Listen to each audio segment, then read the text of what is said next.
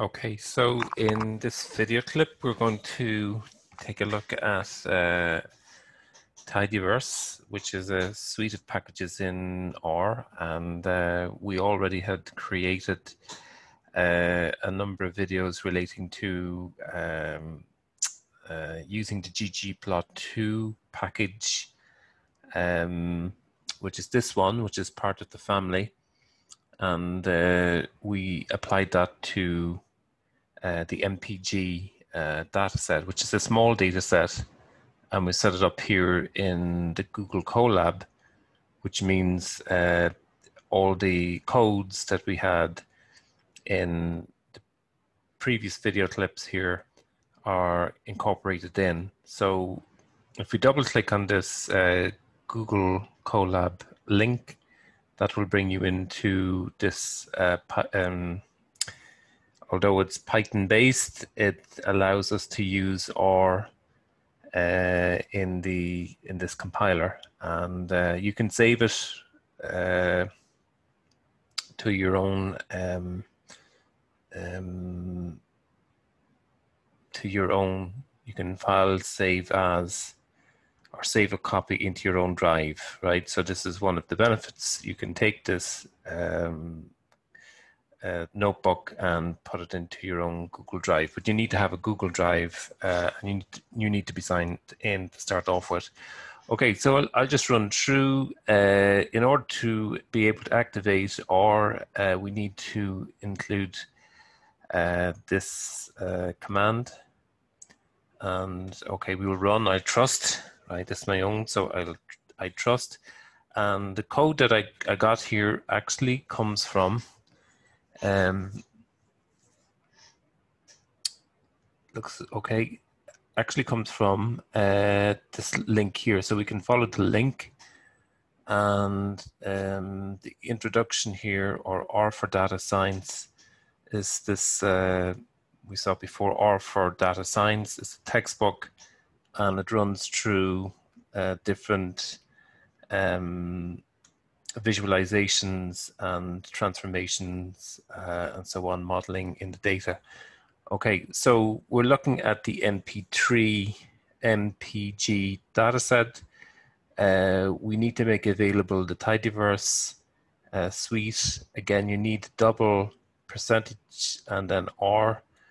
Uh, we run and then we should get uh, all the packages. So Tibble, Tidy or readr, ggplot dplyr. Okay, so in, in this instance, we're going to rely heavily on this ggplot. The data that we have here, here relate to the manufacturer of a car. There's not a lot of uh, cars. Here's just, I think, 224 or so. The manufacturer, the model, the engine size in terms of liters, the year, the cylinder number of cylinders in the car. So four cylinders already quite big uh, by European standards, eight is is very big. The transmission, so type of uh, automatic gear, manual, and there's a few more options.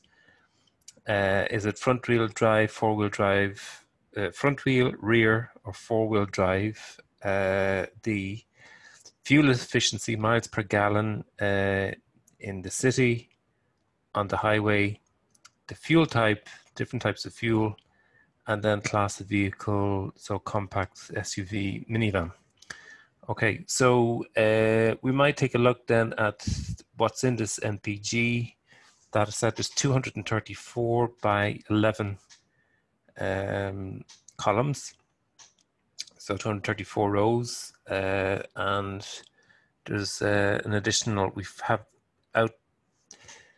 line here to first 10 and there are an additional 224 um, I, have put a little bit of um, filtering and selecting code here. What if we want to take this data set look at engine size uh, more than four liters and then from that select just these uh, columns? So um, the manufacturer model display sorry, uh, engine size and cylinder, right? And you can see here as we toggle down through uh, all the engine size terms of liter, bigger than four um, 5.2, 4.7, so on. So nothing less than four. Um, get some description of the data. So we have this function, it's a dplyr function. It gives us uh, an overview of what's in our uh, data and then a summary. Uh, and we have um, manufacturer, uh, model, engine size, uh, terms of uh, liters, minimum 1.6, mean is 3.4, maximum 7, um, maximum uh, cylinders 8, minimum 4, no 3 cylinders in this range of cars. Uh, the average is 5, the median is 6. Okay, um, now we were starting the graphing, we just run and we get uh, an overview of the miles per gallon on the highway and then the side liters uh, engine size, right? So obviously the bigger the engine, the more, the less fuel efficient it becomes, right? And uh, we can break this down by class. Uh, we have an unusual um, these two seaters, which would appear small, uh, tend to have big engine size, right? There's a range of them, but it's because they're small that we're getting higher fuel efficiency. Uh, and even though in terms of liters, the engine size is big, these cars still probably relatively efficient just because of their size. Um, again, the ggplot um, syntax is we call up the data uh, geometric uh, points on the x-axis and again we have the uh, engine size in terms of liters, the highway, the miles per gallon on the highway, uh, and then we can use size, but that might be better if we use class, for instance, might be more revealing. This is a bit clunky. Uh, gives us something, it breaks it down by, by class um, but prefer perhaps uh, if we were printing in a black and white publication, we would sh use shape somehow to denote that. Maybe that's not completely clear. Um, we can try other things. Of course, uh, making everything blue could be of interest, but not uh, spectacular. Um, and uh, we could do a facet wrap where we say okay, let's break apart all the data here and then break it down by class. So the class would be two-seater, compact, midsize. And again, we get that kind of sense that the higher the number of liters the in the in the engine size, the lower the efficiency. We kind of can see that across the board, right? Uh, that can be enhanced by color. If we put in color, uh, before we didn't have a reference here to color, uh, and I think it's it's fairly um, it becomes a lot clearer if we put in color. So we have the two seaters. Again, we have that information, but aesthetically it's more appealing. Um, we could uh, break it down by the size of the uh, engine, so four, sorry, number of cylinders, four, five, six, and eight, right? And then we have um, also on the x uh, on the y-axis uh, we have uh, miles per gallon and efficiency on the highway um, and then we have also we can break this apart for um, four wheel drive front wheel drive and rear uh, wheel drive okay so that's something that um, is uh, could be helpful to clarify uh, the nature of what we're looking at. Um, it does create, so we, we have the, the syntax here is we call up the data.